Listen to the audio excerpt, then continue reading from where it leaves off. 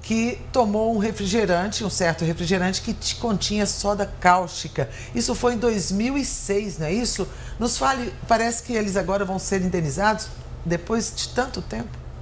Pois é, Roseli, depois de 16 anos, serão agora indenizados uma quantia de 8 mil reais.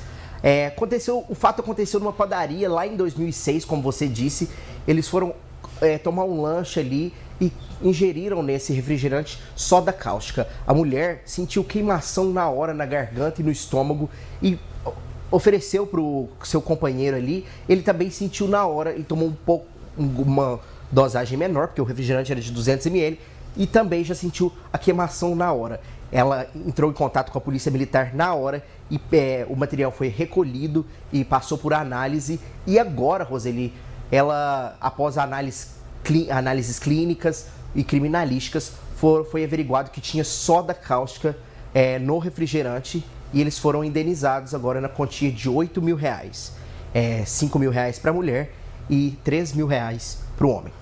Sim, foi explicado o porquê dessa soda cáustica estar presente neste refrigerante?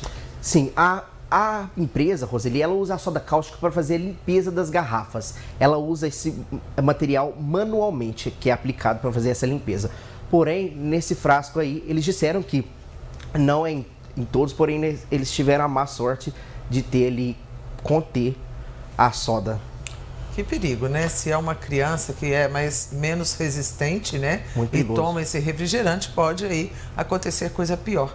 Tá ok, então. João Vitor, quero te agradecer muito pelas suas informações aqui no Jornal da Onda, primeira edição. E a gente se fala amanhã.